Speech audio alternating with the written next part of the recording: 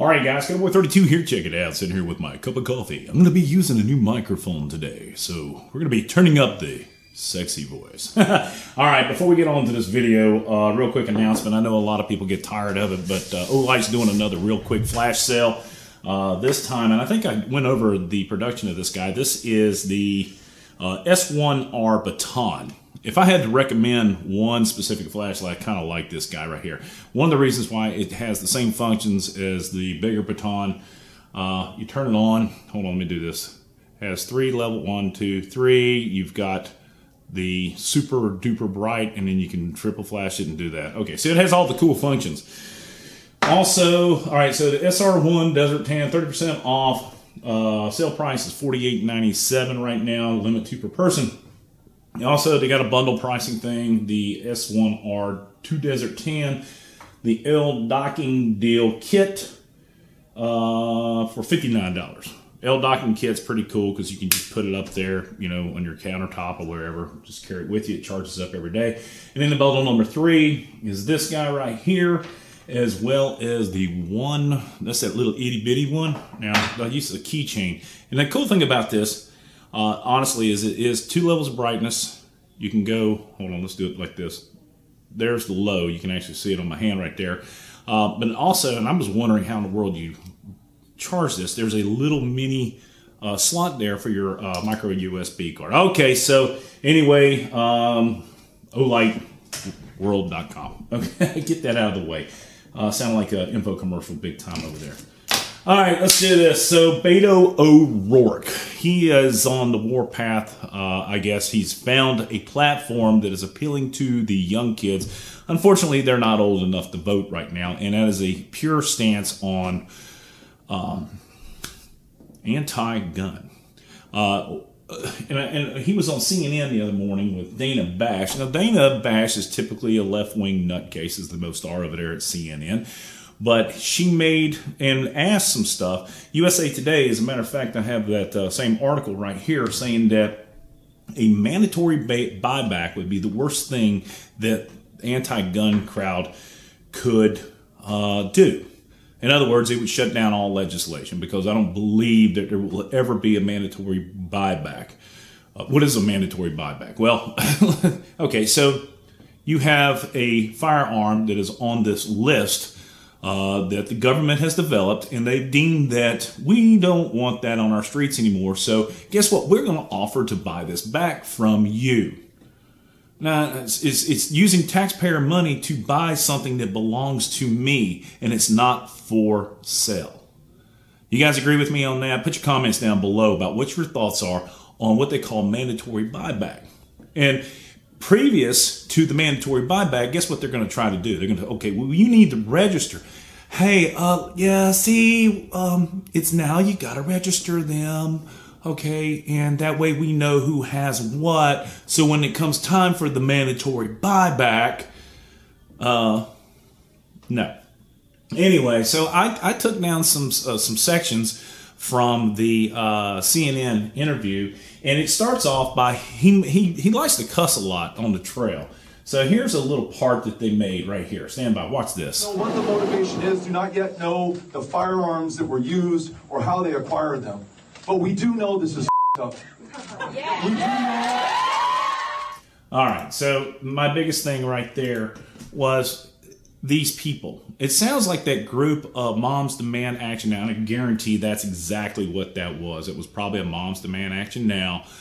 And they get all giddy and happy at a politician's mention of banning and confiscating firearms, similar to the uh, the sheriff up there in Haywood County. Is it Haywood County? Uh, up in Asheville, when he mentioned "Pride for my cold dead hands," and he made the comment of like, "Well, okay," and they were just, "Oh yay, kill him." They, the, sec, the, the, the left-handed individuals who are anti-gun are the most evil, sadistic, vile-mouthed individuals. They would rather kill a gun owner just to in the guise of we're creating a safer environment if we get that off the street and if we have to kill you to get it then so be it in this next little segment, Beto O'Rourke kind of goes through the whole thing about how he plans on implementing these new laws as well as a buyback. The hell are you buying back from me? I owned it to start off with, and it's not for sale. Watch this. Uh, we're going to speak uh, as defiantly and as strongly as we can, but we're also going to take action. Universal background checks, red flag laws, and into the sales of weapons of war and buying those AK 47s and AR 15s back so that they cannot be used against our fellow Americans. Unbelievable. No, they're not for sale, sir. And if they were, they would be so expensive that uh, the Shah of Iran couldn't afford them. That's my thoughts. Okay, so in this next segment, he says he goes to a gun show and he meets three people, and we're going to go over them separately. The first guy was supposedly somebody who was selling guns, and and he he he he, he talks about how uh, we lost more than forty thousand people to gun violence last year, and I love this is the part where the the the, the, the left love to lie and skew the facts. And again, guys, I have never received a phone call or a polling on anything. I see these things online, but I'm not going to click on them because, first of all, they want you to register and get your name, and, and next thing you know, you're getting 100 emails a day. But I'm not doing that. But I've never received a telephone call. The only people I get a phone call from are people who want to extend my car insurance or sell me some affordable health care. Let's watch this. The first person who approached me uh, introduced himself, recognized me, and I said, Look, I got to be honest, I'm here because we lose more than 40,000 Americans a year. We've got to find a solution. And he said, I shouldn't be here. If you have a pulse, if you're 18 years old, I sell you the gun. I shouldn't be able to do that. He, at a gun show selling guns, was advocating for universal background checks. Lies, lies, lie. Lie like a rug. A politician.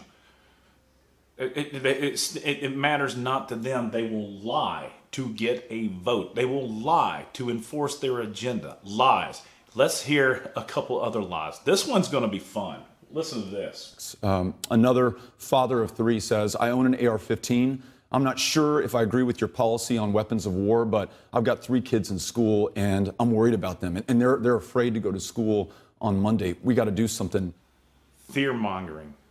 Um, I'm not afraid for my kids to go to school. I, I, would be afraid if they were going to the school in the hood, or if they were, I'd be more afraid if they're going to get in a wreck on a bus because you're more likely to get killed on the car than you are by somebody who decides they're going to, they're sick in the head. And this is where it goes. People are sick in the head. Now, this next part is the biggest lie I have ever heard. And the mere fact that this jackass is going on TV and spewing this. It's unreal. What he's doing is he's trying to sell a picture to people in our country that, yeah, yeah, let, all right, I'm, I'm going to shut up. I want you to hear this. Here we go. Uh, another guy said, I voted for Trump, have an AK 47, but I'd be willing to give it up if it means that we're going to save lives in this country. Hold on.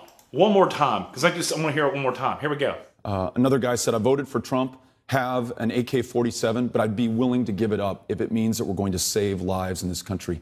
How many of you guys are out here who are planning to give up your firearms if it saves lives in our country? You know what saves lives?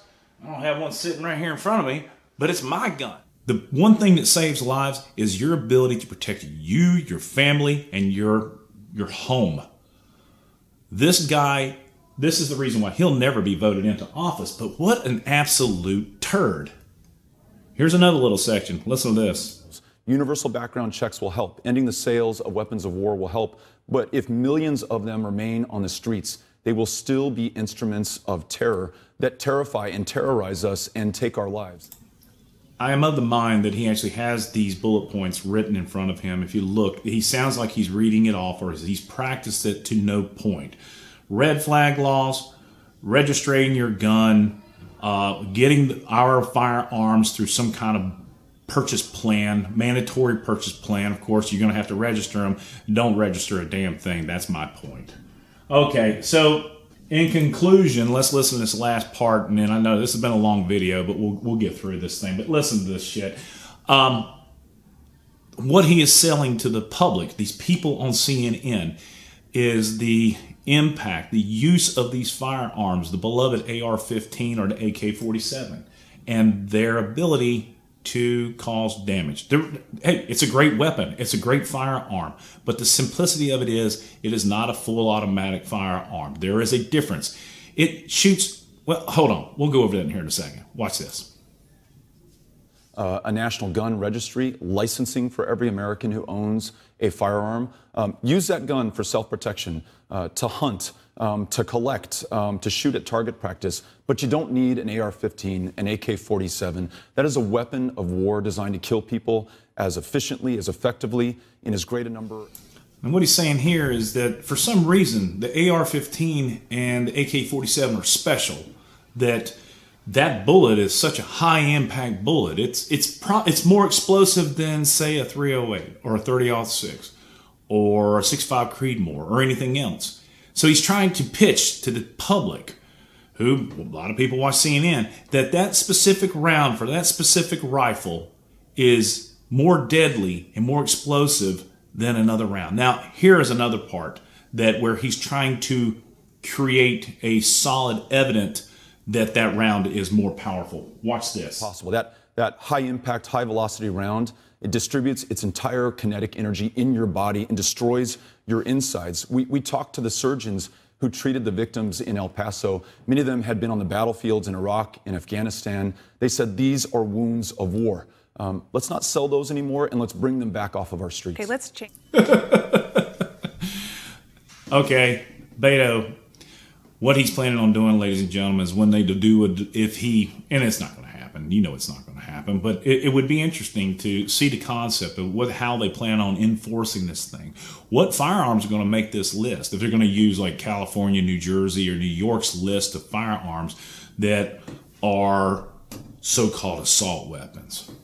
You can basically say it's just like that stop assault weapons now ban uh, legislation they're trying to do in Florida is it's going to list anything that is semi-automatic and is capable of holding more than 10, 10 or more rounds. So anyway, they try to solidify their argument. He tries to sell the public on that this is a viable situation where we can over the fact that uh, we need to do something. And I agree, we need to do something, but we need to address the mental issues in this country. And why are these people doing what they're doing? And please, dear God, if you know somebody who's planning on doing something like this, do something about it. It's going to take you and me to do something about preventing things like this in the future. But how do you do it without violating a constitutional right? Certainly not red flag laws. And certainly they can't enforce the damn uh, laws that are on the books now for gun control as it is. Anyway, it's a long video. I appreciate you guys getting uh, uh, patience. Don't forget about the Olight sale. I'll put a link down below for you. Uh, that is a good light. Uh, but in any case, Kota Boy 32 as always. Oh, my friend, is your six covered? I'm going to put a link to his YouTube channel down there. He's an awesome guy. Looking forward to shooting some three gun with him in the near future. God bless America. God bless his men, women in uniform 24 7 for our freedoms. Freedom's not free. I'm out of here. Peace.